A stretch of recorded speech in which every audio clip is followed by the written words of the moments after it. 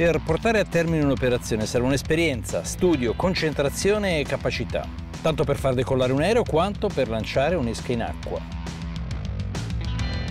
Sono Roberto Ripamonti, di professione faccio il pilota, ma quando scendo dal mio aeromobile mi dedico alla mia più grande passione, la pesca. In questa serie andremo a farvi conoscere quelli che sono alcuni paradisi della pesca del nostro paese. E allora benvenuti a bordo, allacciate le cinture, destinazione? Pesca.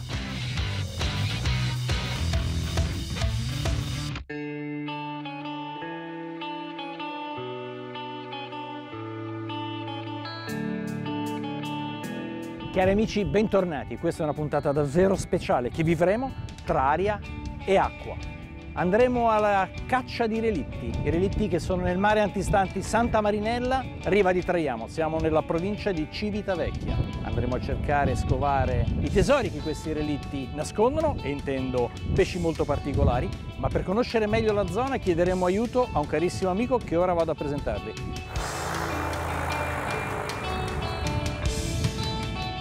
Io ho il grandissimo piacere di presentarvi il mio compagno di corso d'accademia Riccardo Rinaldi. Piacere. Grazie a lui e a questo meraviglioso Raptor avremo l'opportunità di andare a vedere dall'alto le meraviglie di questa zona. Adesso salgo a bordo e cominciamo.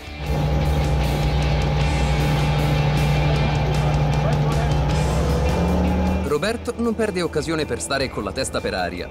Volare per lui è un lavoro ed un piacere, Figuriamoci farlo assieme ad un vecchio amico e compagno di tanti anni di studio.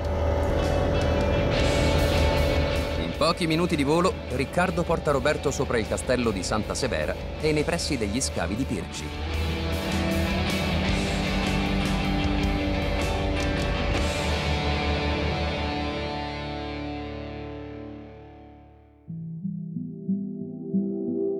Corso dell'Alto Medioevo si sviluppò sulle rovine della cittadina romana un piccolo borgo medievale affiancato da un castello. Nello stesso sito del castello di Santa Severa, al limite meridionale della frazione, sorgeva già nell'età del bronzo un villaggio costiero, testimoniato da alcuni ritrovamenti ceramici. Successivamente nell'area si sviluppò l'importante abitato etrusco di Pirgi, che fu il porto principale di Chere, l'odierna Cerveteri da cui dista 13 km, ed uno tra i più importanti scali marittimi di tutta l'Etruria. Frequentata da mercanti greci e fenici, Pirgi fu sede di un celebre santuario sacro alla dea Uni, assimilata alla fenicia Astarte. La città è citata da Virgilio nell'Eneide. Sul sito dell'antico porto etrusco fu impiantata nel 264 a.C. una colonia romana, fortificata da maestose mura ciclopiche ancora in parte conservate. Nei primi anni 30 Santa Marinella divenne uno dei centri turistici di maggiore attrazione in tutto il litorale laziale.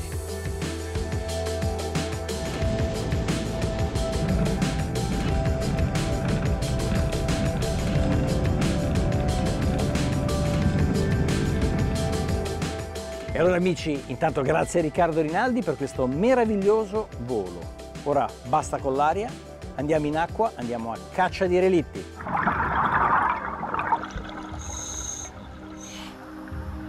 Asia 1 e 2, Erice, Relitto Trasmet, Adernò. Questi i nomi dei giganti del mare che riposano sui fondali.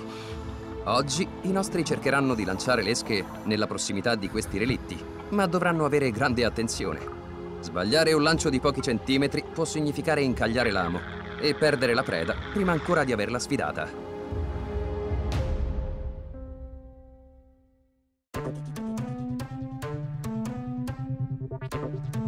È mattina presto, il tempo è favorevole ed anche il mare sembra calmo. Oggi Roberto è deciso più che mai a far bottino pieno. Cari amici, è arrivato il momento di partire, andare per mare. Per far questo ci affideremo ai consigli di un grandissimo esperto locale che ci aspetta in barca, Sergio Galletti. Andiamo a salutarlo. Sergio Galletti è un profondo conoscitore del mare e delle zone di pesca. Lavora da anni come guida internazionale per gli appassionati di pesca ed è stato uno degli scopritori della zona di pesca di Los Roques in Venezuela. Ciao Sergio, eccomi qua. Ciao Roberto, ben arrivato. Grazie, vedo che stai già preparando, hai studiato le carte, la strategia di oggi. Che cosa andiamo a fare? Oggi ci dedicheremo alla pesca sui relitti. Poi sono una sorta di residence per un sacco di abitanti del mare, diciamolo sì, così. no? diciamo pagelli, sugheri, gronchi, murene, cernie, perché no, qualche dentice, Eh, però non è mai, non è mai certo, eh, è la mai pesca è scritto. questa, se no sarebbe troppo facile. Certo. E a questo punto, cari amici, andiamo a vedere chi sono i nostri avversari da vicino. Il pagello, chiamato anche fragolino, è un pesce prevalentemente notturno. Si muove in piccoli branchi poco coesi, prevalentemente su fondali sabbiosi e melmosi. Viene spesso catturato con le reti ed è molto conosciuto per le sue ottime carni.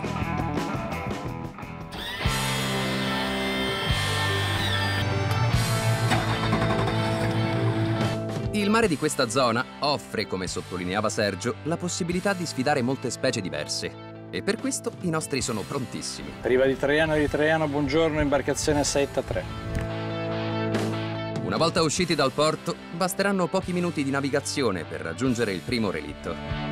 Un miglio e 06 per Pura 216, quindi qua davanti. Ora balliamo un po', qua siamo in uscita di porto, ci sta anche, poi fuori dovrebbe essere più calmo. Roberto purtroppo si sbagliava. Il mare inizia ad ingrossarsi anche fuori dal porto. I nostri fanno comunque un tentativo. Mi è sembrato di vedere un gatto. Vai, vai, vai, vai, Non vai, è un vai. grosso gatto, ma è un gattino. Uh, sugarello, bellissimo. Beh, niente guadino, ma meraviglioso sugarello.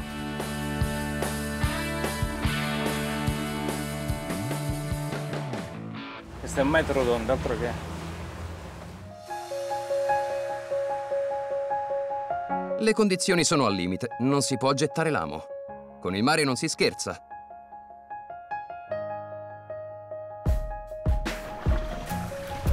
È impossibile. Così Roberto e Sergio rientrano, dandosi appuntamento al giorno seguente.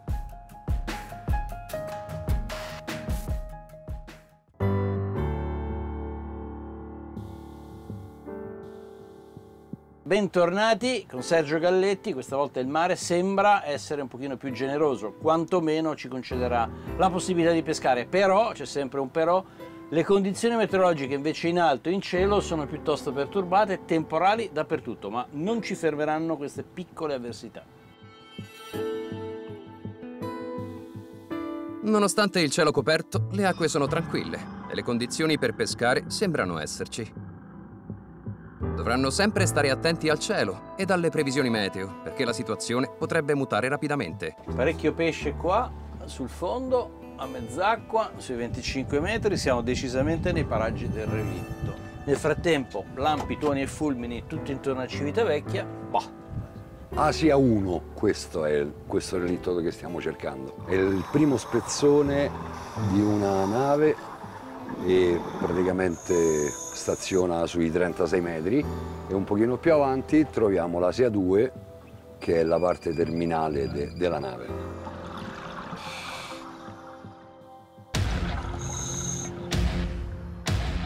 L'Asia fu costruita dai cantieri olandesi nel 1956.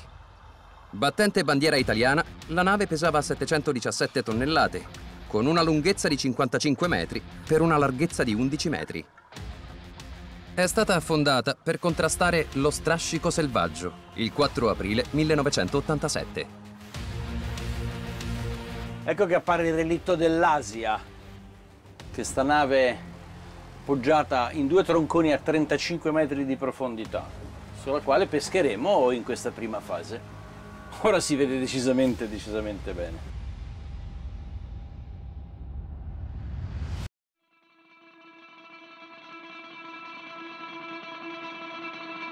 Pesce pieno di pesce, eh? Guarda, pieno di pesce sotto. La pesca può iniziare. Roberto prepara le esche che useranno in questi primi lanci. Ed eccolo qua, il sabiki, che serve per prendere pesci che possono essere usati per esca, ma non solo. Lo usiamo in questa fase per cercare di provare ad avere un po' di cattura all'inizio. È semplicissimo questo veramente. L'abbiamo arricchito mettendo dei piccoli pezzi di verme o di calamaro. Adesso proviamo a ritornare sul relitto e vediamo che cosa succede.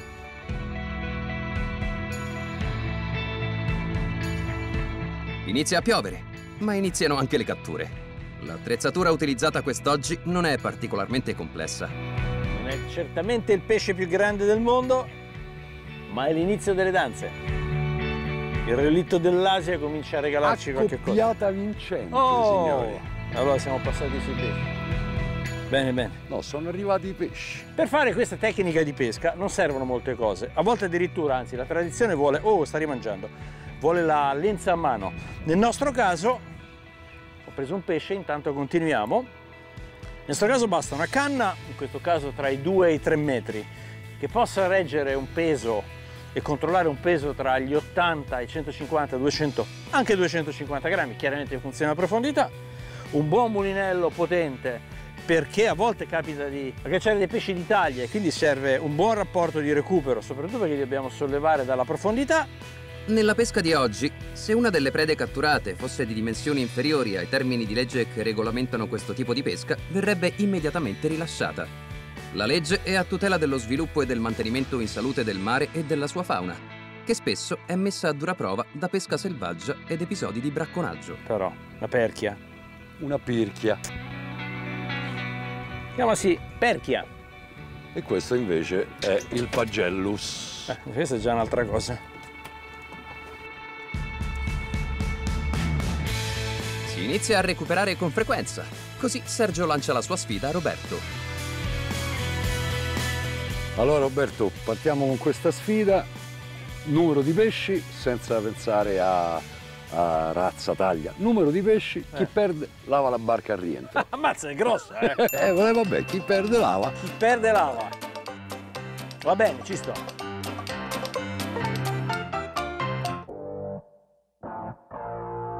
La sfida inizia sul 2 a 2.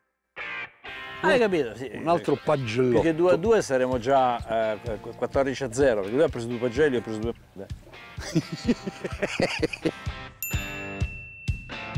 Continua a piovere, ma il sole inizia a fare capolino portandosi dietro l'arcobaleno ed un nuovo pesce per la lenza di Roberto. È arrivato il pagello, credo. Sì, sì, sì, Un pagello, pesce che si difende, un pesce che tira. pagello sicuro. E Il anche... pagello sicuro è una specie di nuova di Sì, pagello. è una specie, no, che, che specie è? Un pagello sicuro. Pagello sicuro. Certo, se smettesse di piovere sarebbe anche meglio. Eh, sicuramente. Eccolo. Eh. Mm, Eh. colore, doppietta. Opla. Non è bello, eh. Doppietta. Questa cascata rosa di delizie del mare. Questo è piccolino e ovviamente si rilascia. Opla.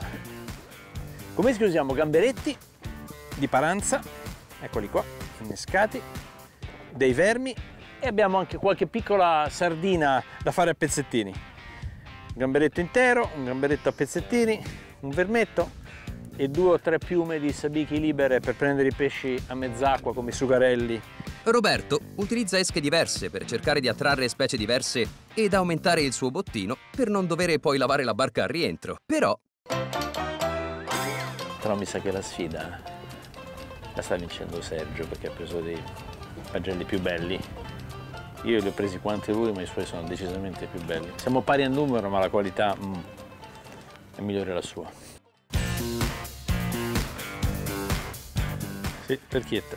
O perchietta, fra- no, farolino. No, è un fragolino alto. No, no, ma ho avuto tante mangiate, vedi, mi hanno pulito... Eh. Questo lo rilasciamo però, eh. i pesci hanno una dimensione standard per cui possono essere trattenuti. Quelli troppo piccoli vengono rilasciati. Bellissimo pagello, eccolo qua, colori sgargianti, pesce di taglia. La giornata è radicalmente cambiata. Ora splende il sole e la sfida continua a colpi di recuperi. Un arcobaleno incredibile alle spalle, ci spostiamo, adesso andiamo a vedere un altro relitto, il relitto dell'Erice. Il piroscafo Erice fu costruito nel 1919. Era lungo circa 100 metri per 2350 tonnellate.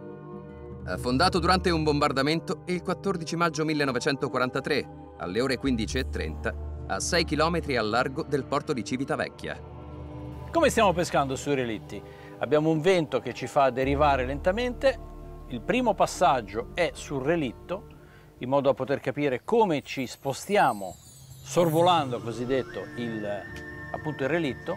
Dopodiché facciamo un giro a risalire la corrente e cominciamo a pescare. Sergio, c'è qualche suggerimento che chiaramente vuoi, vuoi dare in questa Sì, la, la, la cosa più importante è quella di evitare di pescare sul ferro, altrimenti non è una pescata, è, una, è un continuo perdere terminali.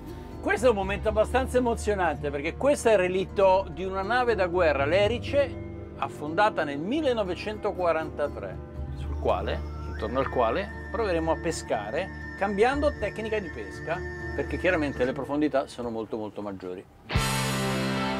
A volte è difficile capire la grandezza di una preda, nonostante gli anni di esperienza. Sergio ci fa capire che nella pesca è meglio non illudersi troppo presto. Eh, sembrerebbe più bello, sai però certe volte se ti mangia l'amo alto ti dà l'impressione di essere molto grande, invece poi resti deluso.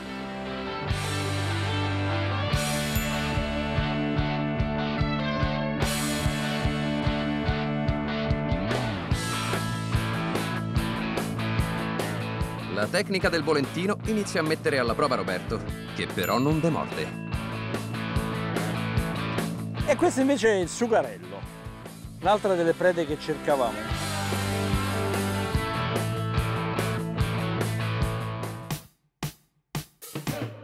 Questa è la bellezza del, di questa pesca volentino sui relitti. Devo dire che l'Erice sta regalando delle belle soddisfazioni. I recuperi da queste profondità sono impegnativi perché stiamo lavorando a quasi 100 metri di profondità. Però, però, ci regala delle delizie. Eccone qua, che capolavoro. Opla! Questo è un altro tipo di preda dei nostri fondali, cosiddetto pagello bastardo. Poverino, mi dispiace che abbia un nome così infelice, però è un pesce molto molto bello e anche molto buono. A Pagello risponde Pagello, anzi, Pagellone. Eh, bello, questo è bello, bello, bello. Bello e buono.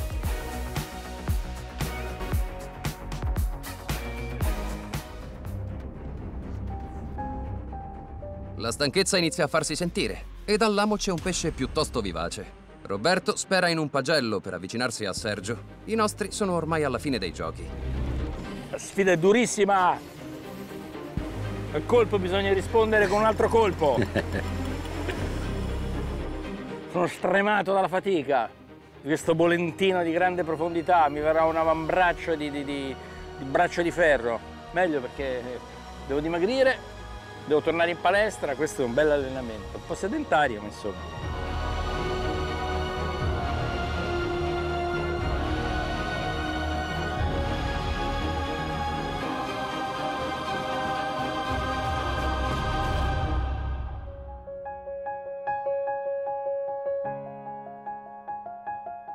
Roberto, con quest'ultimo pagello, chiude la giornata.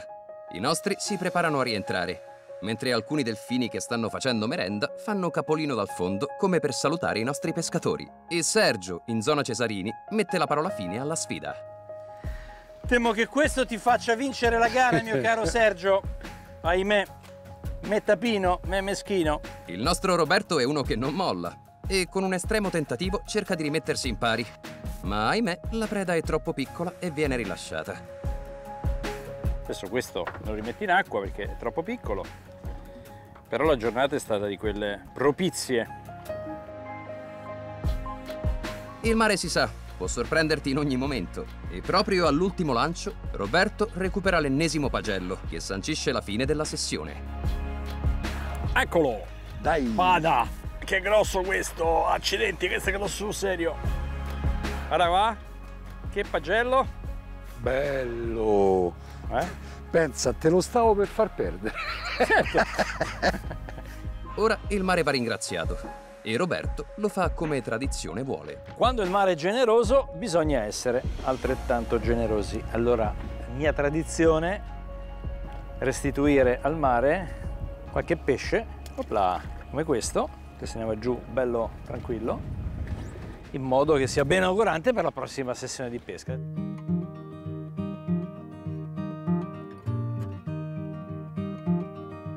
una giornata stupenda a cercare relitti. La sfida è stata forte. Che dici?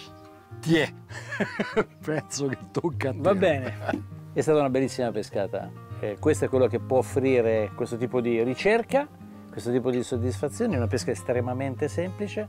A questo punto prendo la pompa dell'acqua e comincio a lavare la mia barca.